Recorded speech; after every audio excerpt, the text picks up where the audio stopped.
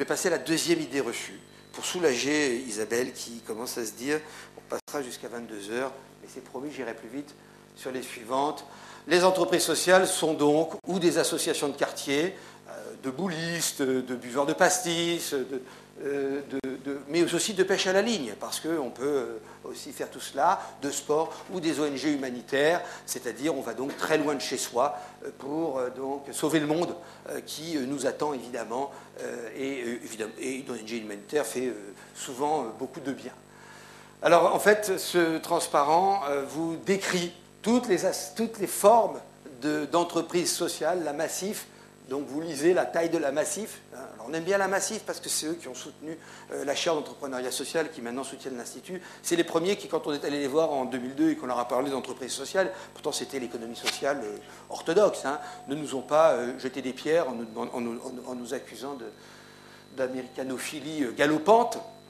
Et donc on a plaisir à les citer, on peut aussi citer la Maïf, qui, dans le sillage de la Massif, nous a aidés. Ensuite, vous avez le SAMU Social de Paris, qui est une association que vous connaissez tous, euh, et là aussi, euh, forme de GIP. Le Toudoubon, alors on aime bien aussi citer Toudoubon parce qu'on n'est pas du tout chauvin, mais c'est un ancien essai qui a, fait, qui a, construit, qui a créé Toudoubon. je m'empresse de vous préciser que les anciens essais n'ont pas le monopole de la création des entreprises sociales, rassurez-vous, la ligne de vêtements bioéquitables, le réseau Cocagne, Très intéressant aussi, euh, exemple emblématique, Jean-Guy Henkel, euh, qui était euh, travailleur social et qui lui en avait ras-le-bol d'accueillir des gens pendant six mois ou neuf mois, de les remettre dans le droit commun, puisque les dispositifs sociaux sont par nature temporaires, et retrouver les mêmes gens six mois après, à peu près dans le même état ou dans un état un peu, pire, et toujours enchaînant, allant de dispositifs sociaux en dispositifs sociaux, de dispositifs d'aide en mesure de soutien il a cherché lui aussi une idée, un projet, et ça a été donc ces jardins de cocagne qui est une formule par laquelle vous pouvez souscrire et recevoir ainsi toutes les semaines un panier de produits bio.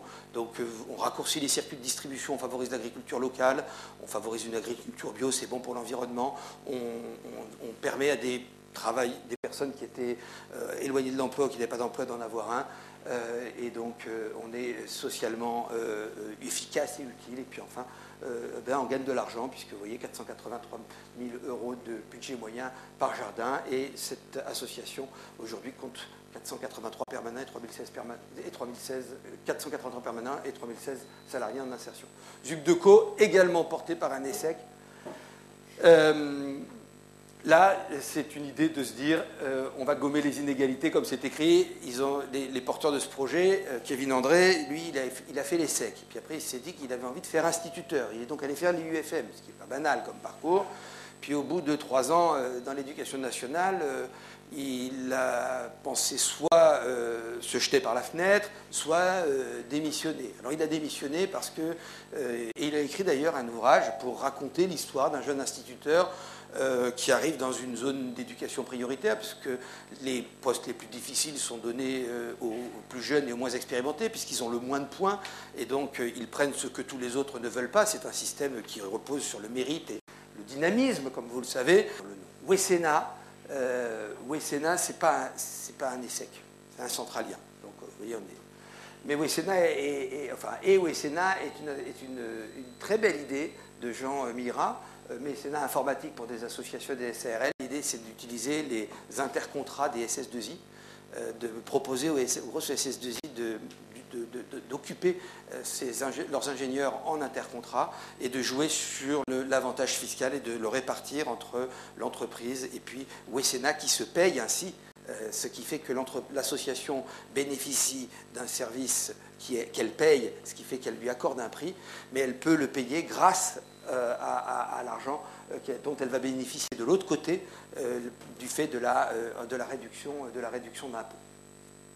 Wessena est incubé dans l'incubateur d'entreprise Entropia qui a été créé par la Caisse d'épargne de France et par, l'ESSEC avec cette ambition d'avoir un, dispositif qui vienne accompagner et aider les entrepreneurs sociaux qui ont une idée et qui veulent passer de l'idée au projet.